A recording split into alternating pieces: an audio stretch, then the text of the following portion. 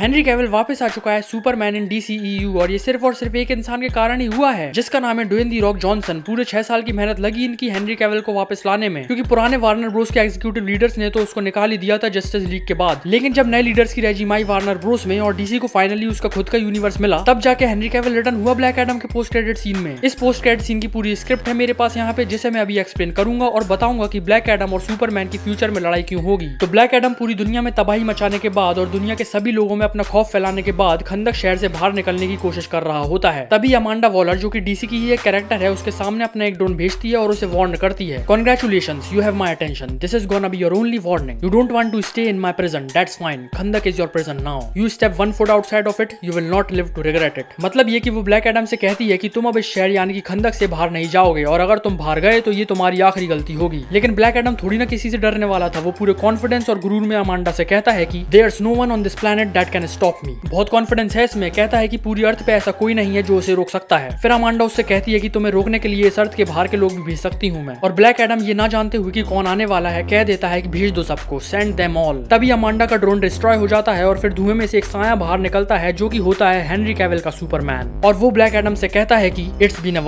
while since anyone has made the world this nervous और फिर black Adam उसे देख के हल्का सा मुस्कुरा देता है तो हाँ सबसे पहले thank you Dwayne Johnson for making this happen क्योंकि हम सभी चाहते थे कि हेनरी कैवल वापस आए है डीसीयू e में और अब मैं तुम्हें बताता हूँ की सुपरमैन और ब्लैक एडम की लड़ाई कैसे होगी क्योंकि ब्लैक एडम का ओरिजिनल मेन विलन तो शजैम है और मैन ऑफ स्टील टू का क्या रोल होने वाला है उसमें तो ब्लैक एडम सुपरमैन से इसलिए लड़ता है क्योंकि उसे पता है कि जो उसका मेन मोटिव है वो सुपरमैन के रहते हुए कभी भी पूरा नहीं हो सकता और इसलिए वो सबसे पहले शजैम का रूप धर के सुपरमैन पर हमला कर देता है जिससे सुपरमैन और शजैम के बीच में लड़ाई हो जाती है लेकिन बाद में सुपरमैन को रियलाइजेशन होता है की वो एक्चुअल में शजैम नहीं ब्लैक एडम था और इसलिए फिर सुपरमैन और शजैम टीम अप होते हैं ब्लैक एडम को हराने के लिए बेसिकली ब्लैक एडम चाहता था कि उसके दोनों दुश्मन शजैम और सुपरमैन एक दूसरे से लड़के ही खत्म हो जाए जिससे की उसका रास्ता साफ हो जाए लेकिन ऐसा नहीं होता और फिलहाल तो मैं एक्साइटेड हूँ हेनरी कैवल की next Superman film Man of Steel two के लिए